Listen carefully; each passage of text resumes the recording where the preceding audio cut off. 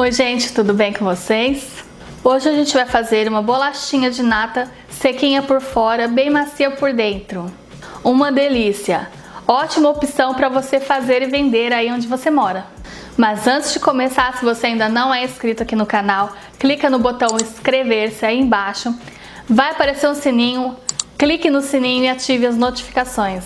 Pré-aqueça o forno a 200 graus. Em um bol, coloque a farinha de trigo, gemas, o açúcar refinado, fermento em pó, a nata. Misture tudo até a massa ficar homogênea.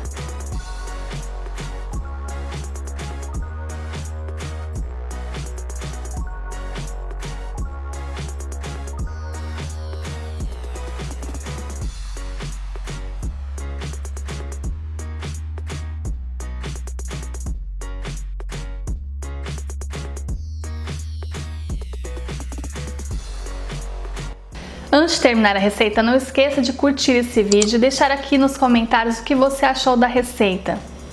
Compartilhe nas redes sociais com seus amigos e família. Corte um pedaço da massa, enrole formando rolinhos. Corte em pequenos pedaços como se fosse nhoque. Aperte com um garfo Coloque as bolachinhas em uma forma enfarinhada. Leve ao forno pré-aquecido a 200 graus por cerca de 20 minutos ou até que as suas bolachinhas estejam douradas.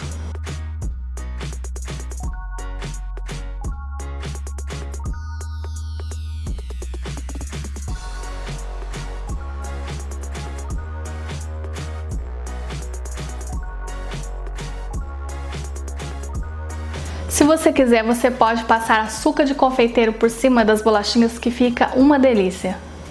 Vamos provar? Ó. Elas ficam bem sequinhas por fora e macia por dentro. Hum. Muito bom. Faz aí.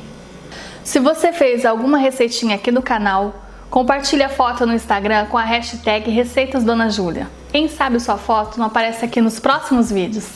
Até a próxima!